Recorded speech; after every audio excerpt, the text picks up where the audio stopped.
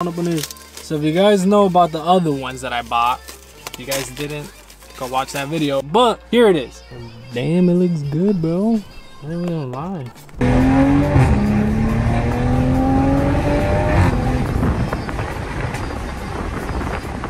lie.